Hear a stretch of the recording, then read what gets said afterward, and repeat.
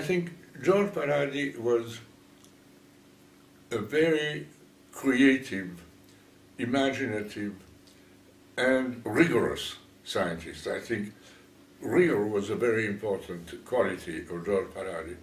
He, all his work was of high quality, and he would not accept anything that was mediocre or low quality. When you see the pictures, they are beautiful.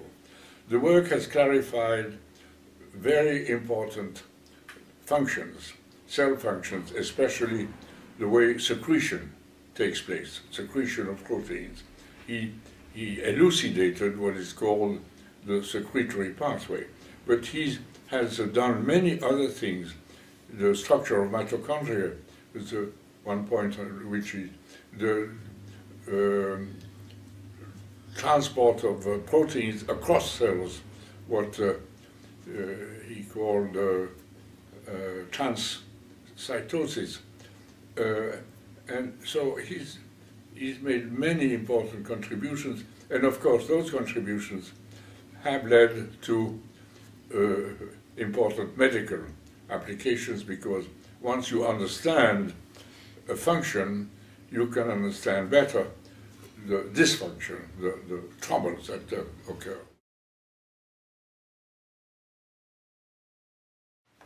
You know, he, he lived uh, till a very ripe old age, older than I am today. And uh, his brain worked very well for most of the time, but he had uh, major physical problems. He had uh, problems walking and so on, and especially what uh, most tragic for Palade, he became blind. He had macular degeneration, which is a sort of blindness for which there is no cure and no, no remedy.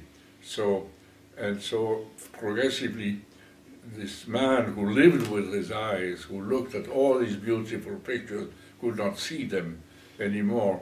And I think that was a, I still met him not so many years ago. We had lunch in San Diego with uh, his wife uh, Marilyn Farquhar, who's still very active, and uh, uh, he was in good shape, but becoming becoming very uh, blind, and I think that has been very tragic for him. But he was a great man and a great friend. I I will always remember remember him.